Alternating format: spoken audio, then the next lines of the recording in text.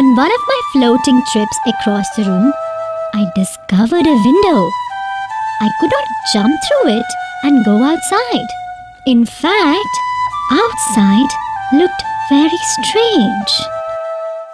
A huge blue and white thing covered nearly the whole sky.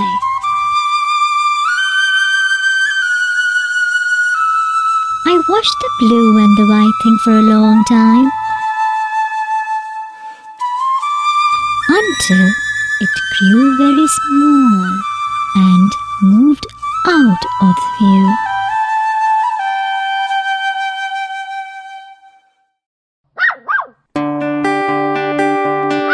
Then I saw lots of little white points and lights.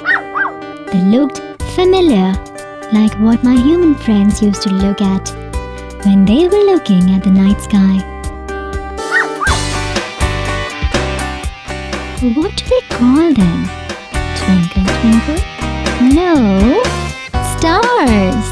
Yes, stars. They were stars.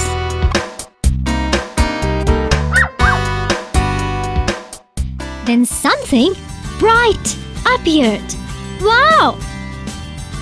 It was the moon!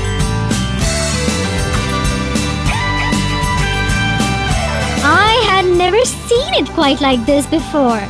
It looked much bigger. Those dark areas looked like shadows, round holes everywhere. Hey, they may be those craters. Weightless.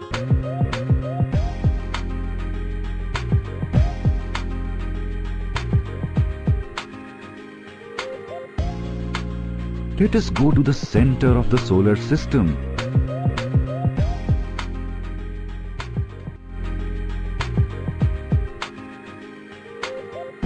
Do you mean the sun? Yes, the star of our solar system. What do you mean by the star of our solar system? Every star that you see in the sky is a sun. Some stars even have planets going around them.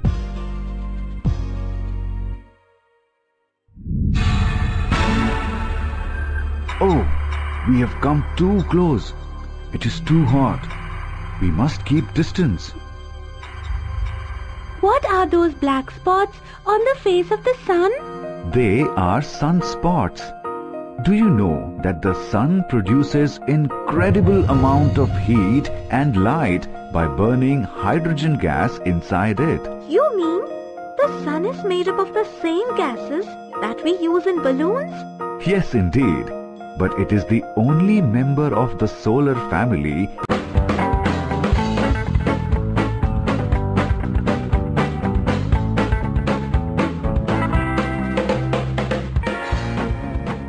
Dad, what are Saturn's rings made of?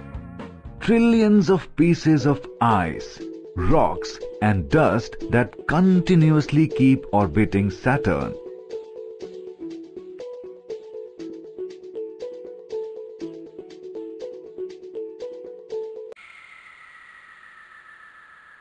My dear daughters, now look at the fifth planet from the Sun, Jupiter. It has been named after the god of gods. It is not rocky. It is made up mainly of gases. Hence, it is also called a gaseous planet.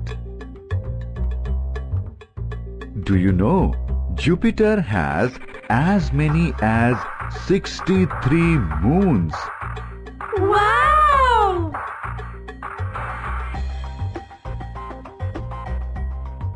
This giant planet completes its one revolution around the Sun in 12 Earth years and it rotates the fastest among planets, once in less than 10 hours.